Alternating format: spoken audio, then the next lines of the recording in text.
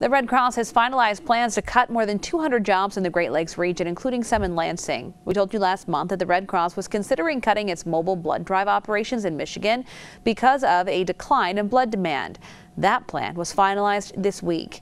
About 230 jobs will be eliminated, eliminated starting in November. The Red Cross says it will not affect the state's blood supply.